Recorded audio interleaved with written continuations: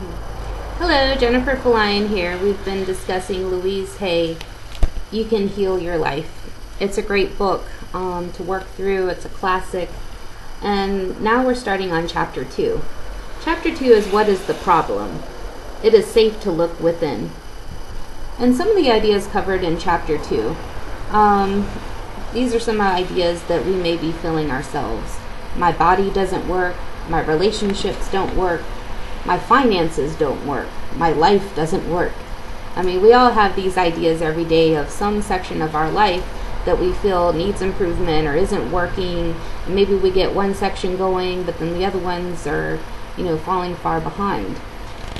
She has some good exercises, and I encourage you to buy the book yourself and work through some of these exercises because we do need to do the work to figure out okay, what is the problem and how can we solve it.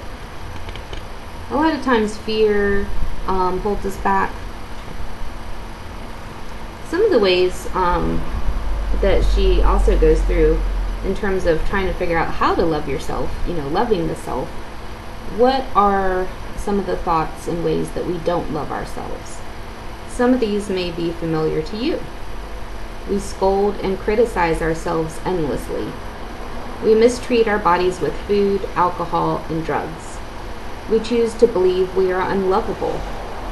We are afraid to charge a decent price for our services. We create illnesses and pain in our bodies. We procrastinate about things that would benefit us. We live in chaos and in disorder. We create debt and burdens. We attract lovers and mates who belittle or abuse us. Do any of those ways sound familiar? What are some of your ways that you deny yourself? If we deny any good in any way, it is not an act of loving ourselves.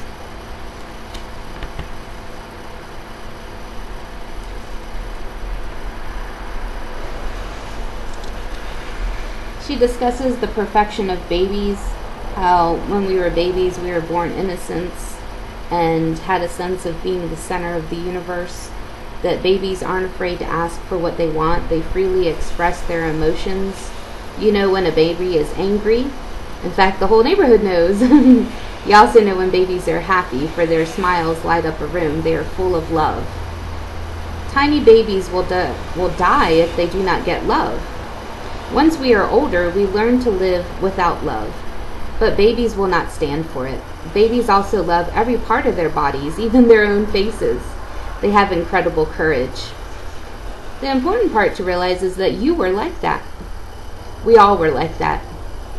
Then we began to listen to adults around us who had learned to be fearful, and we began to deny our own magnificence. There's an exercise that she has um, where she asks clients to pick up a small mirror and look into their own eyes and say their name.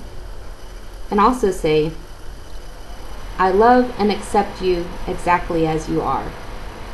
Why don't you try that today? I know it's kind of cheesy, but pick up a mirror and say your name, Jennifer.